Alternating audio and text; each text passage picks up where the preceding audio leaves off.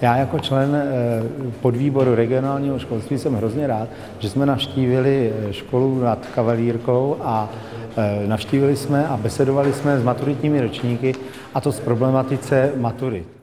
Studenti mě velice milé překvapili, byli, byli suverénní, jsou to dospělí lidé a vědí, co chtějí, což je velice příjemné nejenom pro mě, ale pro společnost.